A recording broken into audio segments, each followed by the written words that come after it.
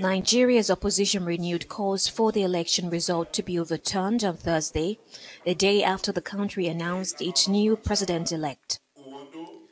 Atiku Abubakar, leader of the People's Democratic Party and Nigerian presidential candidate, speaks to the press following the announcement by the Independent Nigerian Electoral Commission.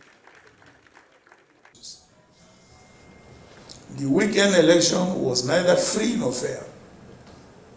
Preliminary assessments indicate that it is the worst conducted election since the return to democratic rule. The manipulation and fraud that attended this election was unprecedented in the history of our nation. It was indeed a rape of democracy. At least four other parties have joined him in challenging the result, and they have three weeks to do so. None of Nigeria's presidential election results have ever been overturned by the country's Supreme Court.